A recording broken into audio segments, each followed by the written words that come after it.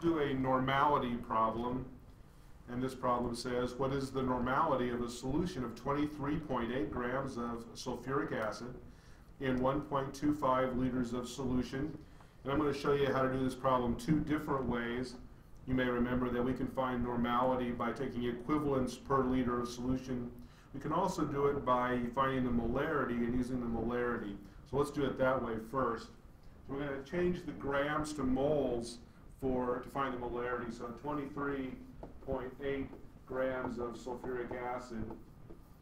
I'm changing grams to moles, then that's one mole of sulfuric acid.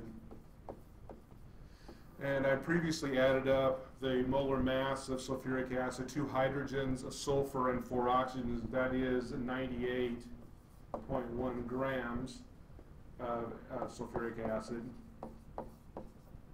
So the grams of sulfuric, sulfuric acid cancel out, and that gives us 0.243 moles of sulfuric acid.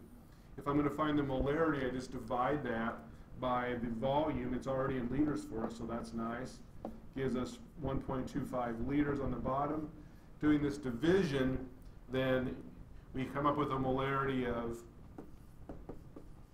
0.194 molarity.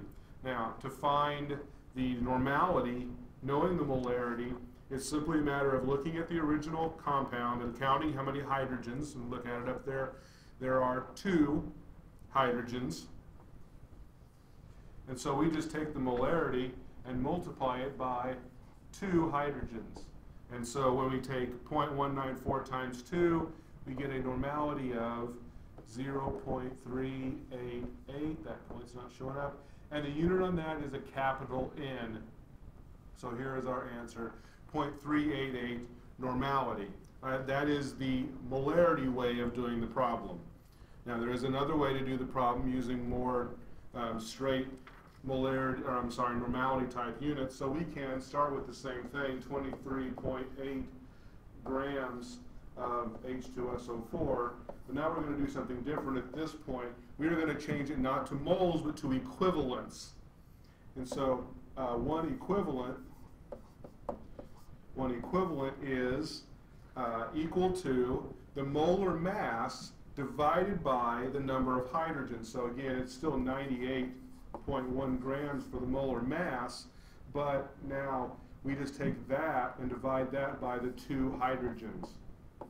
Okay, so it ends up being 23.8 grams of H2SO4 times one equivalent over 98.1 grams. So the grams of this will cancel out the grams of that.